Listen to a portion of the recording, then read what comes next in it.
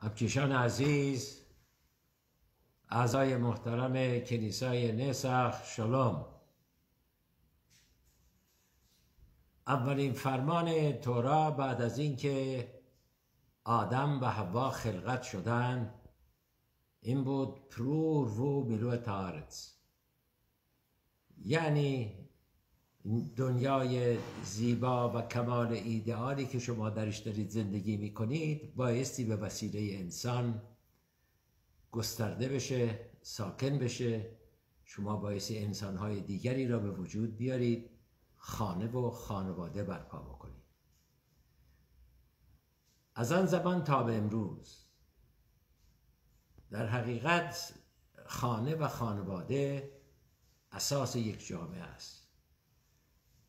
اگر واحد یک جامعه که خانه است و خانواده است محکم باشه در برابر طوفان‌های زمانه در برابر زلزله در برابر هر عوامل دیگری این خانه اگر پایه‌هاش محکم و بر اساس تفاهم و عشق باشد پابرجا خواهد ماند. پیدا کردن همسر کار آسانی نیست. برای اینکه خیلی جالب تلمود می‌گوید اگر شما مهری بسازید از این مهر میلیون ها کاغذ رو مهر بزنید هیچ کدام با یکدیگر فرقی نداره. ولی خداوند یک انسان آفرید از این انسان ها میلیون ها انسان آفریده و هر یک از دیگری متفاوته خواسته های ما شخصیت ما فرق نمی‌کنه مرد یا زن. و می‌بینیم ابراهام جند اول با در میان کنانی ها زندگی داره می‌کنه و می‌خواهند برای فرزندش تنها فرزندش یعنی اسحاق همسری پیدا بکنه. پیشکار خود رو الیعزر رو صدا می‌زنه می‌گوید الارسی و المولتی تلخ. که من در میان این کنانی ها که زندگی می کنم می بینم از لحاظ فرهنگی از لحاظ مذهبی از لحاظ رفتاری خیلی با من که از اورکستی و بین النهرین اومدم از و خانواده متفاوتی اومدم زبان متفاوتی اومدم ایمان متفاوتی دارم فرق می‌کنه. برو در جایی که حداقل این تفاوت‌های فرهنگی و تفاوت‌های اعتقادی وجود را داره. همسری برای فرزند من ایچخاک پیدا کن و بیار. و خوشبختانه تورای این هفته رو که بخونید می‌بینید که الیزر البته یک مسئله ای که نبایستی فراموش کرد درسته خواست انسانی ما. ولی ما اعتقاد به بشیت الهی هم داریم. گاهی مواقع است که خیلی از مواقع شاید بگم نه مواقع این در حقیقت خواست و اراده الهی هم هست که زوج ها رو با یکدیگر جور بکنه.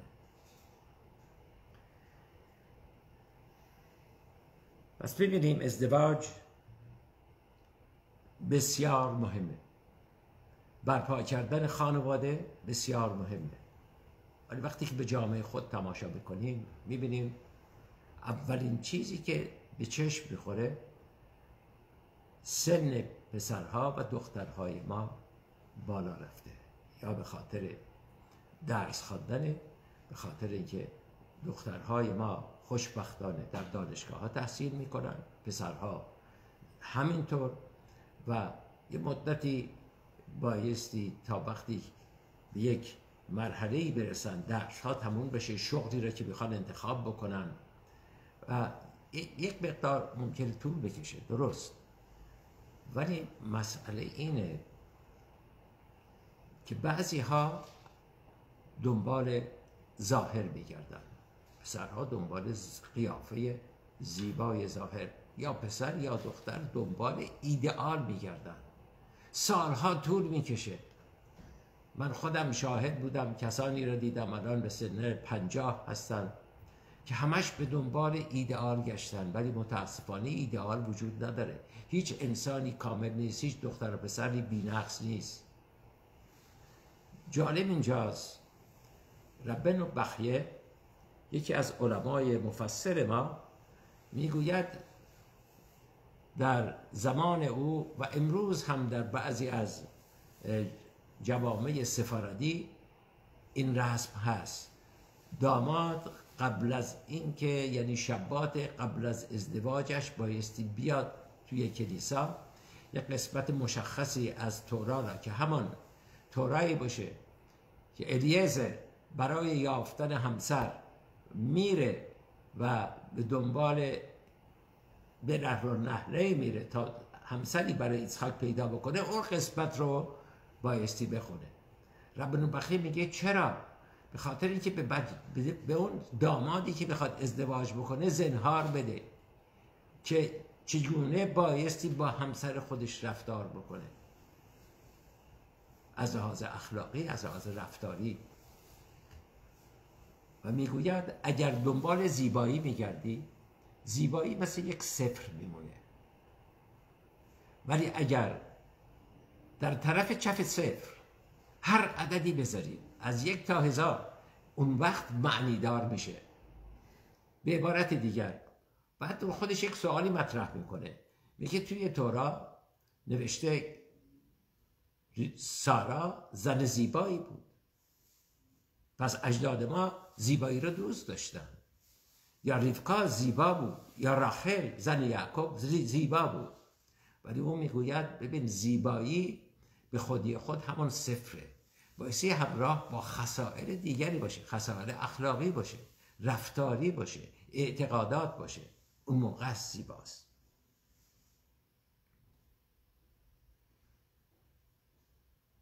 و نقطه ای رو که بسیار تأکید می‌کنه. میگه شکر حقین به هیبل حیافی میگه زیبایی اگر زیباترین زنم باشه دخترم باشه بعد از شیش ماه که باش ازدواج کردی یک سال عادی میشه. چیزهای دیگری در ازدواج مطرحه. عوامل دیگری هست که بایستی پایه های این خانه رو سفت بکنه محکم بکنه. زیبایی امروز تا ده سال دیگر خیلی فرق می‌کنه. باید عامل دیگری باشه که این زوج رو به دیگر متصل بسازه. بعضی ها هستن از جوانهای ما وقتی که می‌خوان ازدواج بکنن هدف چی هست؟ یک هدف. هدف به مالی برسم به مقامی برسم به جایی برسم. نشبه محض. بعضی ها می‌گوین ببین حالا من وقت ازدواجم نیست بایستی لذت بری بکنم. تا وقتش که رسید اون وقت تصمیم می‌گیرم خانه برپا بکنم خانواده برپا بکنم. ولی وقتی که به فکر می‌رسه من شاهد بودم.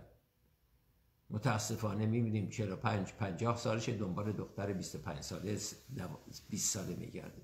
چنین چیز غیر ممکنه. این اختلاف سن اختلاف تجربه زندگی. چطور ممکنه یک خانه محکم برپا بکنه؟ و بعضی همینطور دنبالش برن ازدواج نمی‌کنن. بعضی ها براشون رابطه جنسی خیلی مهمه. دفعه اولی که با دختر میرن دختر رو تعریف می‌کنن. میگن که ببین کشش جنسی بسیار مهمه. من بایستی تو رو ببوسم ببینم اصلا کشش دارم یا ندارم. یا بعد از دفعه دوم و سوم می‌گوین ببین بیا بریم با هم مسافرت. بیا بریم تو هتل. معلومه هدف این آقا چی هست.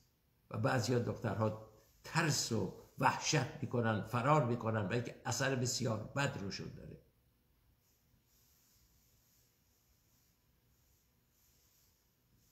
ببینید در تورا دو جور ما ازدواج رو ببینیم ازدواج اول ازدواجی است که دیگران رابطن.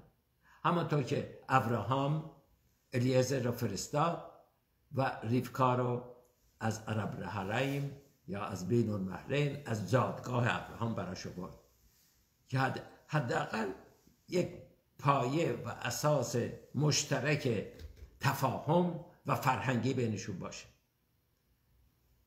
این اینجا هم هست. اینجا شدخان می‌گویم یا بگیم دلال محبت این کار را می‌کنن ازدواج دوم ازدواج رومانتیک عشقه یعقوب دفعه اولی که ریفکا راخل رو ببینه عاشق میشه. و برای این عشق چهارده سال زحمت می‌کشه تا بتونه این زن رو به دست بیاره. و در طول زمان می‌بینیم یعقوب با راخل همراه هماهنگ مشاوره ولی اسحاق با ریفکا با اینکه زوج خوبی بودن ولی به خاطر اینکه اسحاق از لحاظ معنوی یک درجه دیگری داشت. ریفکا در خانه پدر در محیط پرستی بزرگ شده بود. با اینکه پذیرفته بود تمام خدا و خدای ابراهام رو رفتار رو. ولی می‌بینیم نتیجه این دو دوگانگی توی بچه ها خیلی تاثیر گذاشته بود. یکی اصابه یکی یعقوبه. دو, دو نفر آدم متفاوت. ولی یعقوب همه فرزندانش در صف باقی میمونن. یکی از صف ابراهامی خارج نمیشه مثل حساب که دیدیم. بنابراین ازدواج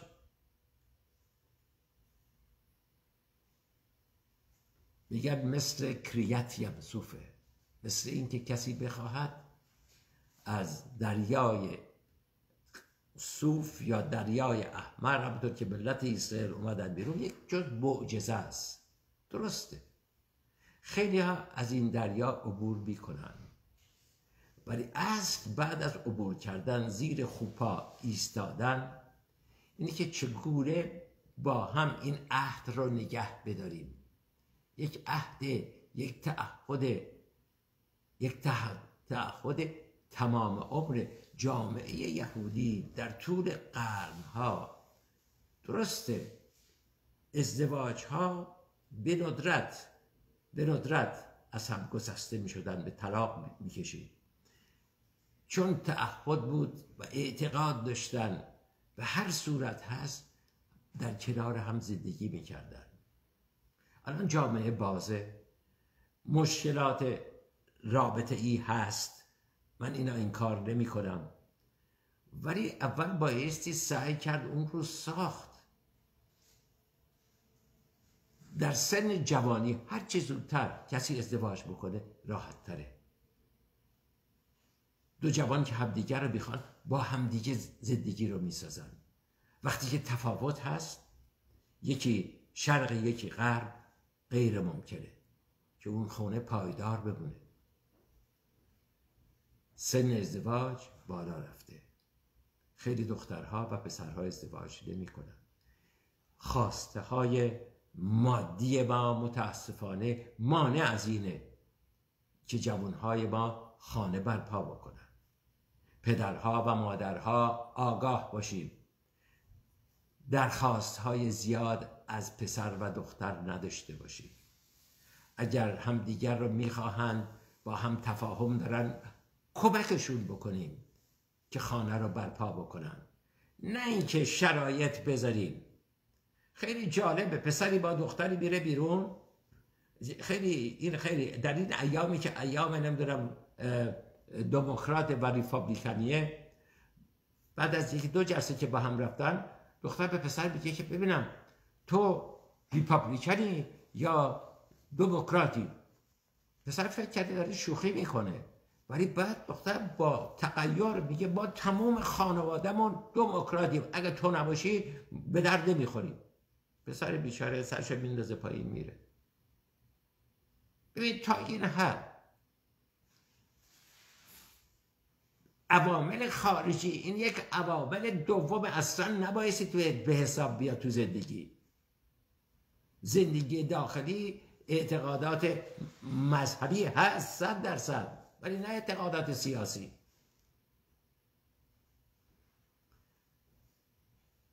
و متاسفانه چیز دیگری که وجود داره که نمی‌تونه خانواده رو برپا بکنه و که زن و مرد کار می‌کنن و در محیط کار مردها و زنهای دیگری می‌بینن. بعضی ها که خانه سسته معلومه به جای دیگه میرن.